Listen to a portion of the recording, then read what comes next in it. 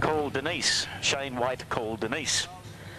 Hmm. Well, that's supposed to be. Ain't touching that one with a barge pole. Okay, the modifieds getting set for their first race of the night. We have two modified races up front before the sprinters. These guys are getting set to race from the drop of the flag. We've got the green and away they go with car number eight heading out. 44 drops into second spot as they go to the back straight away. Russell Bradley is second. Eight remains the race leader as they go down the back straight away. Track holding well. Not too much water put into it today because of the dire predictions from the Weather Bureau, but we have a good racing surface. Eight continues to lead Bradley in 44 as they go through the top turn. Russell Bradley hanging on doggedly. They've got seven laps to run as the back straightaway looms large and they head to turn number three. Well, Bradley putting the pressure on as they come off the fourth turn now, but I think our leader's done a little bolt. He's got six laps to go as Bradley comes up pretty smartly. Not too far back behind them is Young Fortune, who's coming up through the pack as they make their way through the top corner. Steve Fortune, but he made one boo-boo. They've all caught him. He's gone back two spots. Birch came up one spot as well. Okay, front straightaway. There's Bradley trying to tuck the nose of the car down on the inside.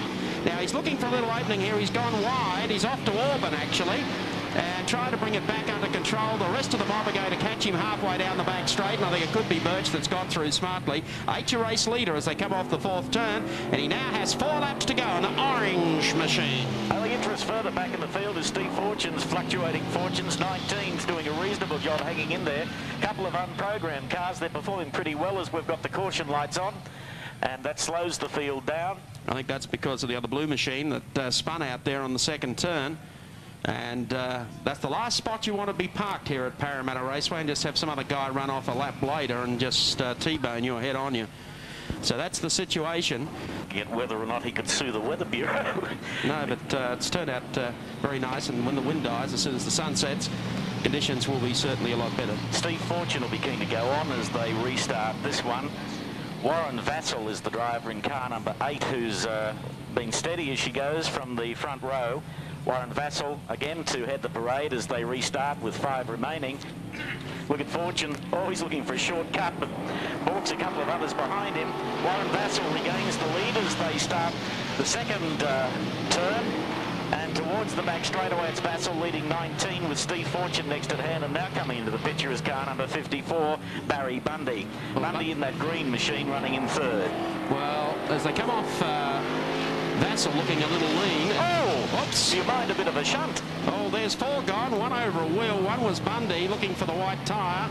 Manages to skip around there. They bring the caution light on momentarily. Back to the green, and Bundy's almost bogged it. I think he's still trying to get his uh, eyes uncrossed. Well, Vassell uh, decides that uh, he'll just ease it up a bit and give them all a chance. Pretty difficult at this time of the afternoon, as you can see out there.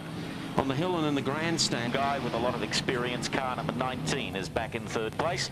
And we now have four laps to run with Barry Bundy, who's been in the wars in the 54 car. Coming back in from Glossodia, driving his Chev 350. Coming off the top turn, the sun in their eyes there. Home straight away, now they run to the top turn. From the Central Coast, Warren Vassell re-establishes his lead. Running to the back straight away, Fortune's challenged by Bundy. Bundy's decided to go on with this now and uh, Fortune's decided to help him by giving him a shove as they go through the top turn.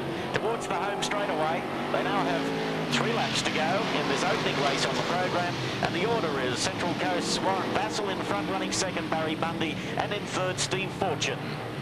Well, Bundy, I thought, may have been able to pull back the gap. Uh, I think it's rather unlikely he'll do that. They'll have two laps to go as they come across the strike now. Vassell, your race leader, Bundy in second. Looks like They've all uh, run into a spot of bother here. Uh, Fortune's car has almost died in the rectum.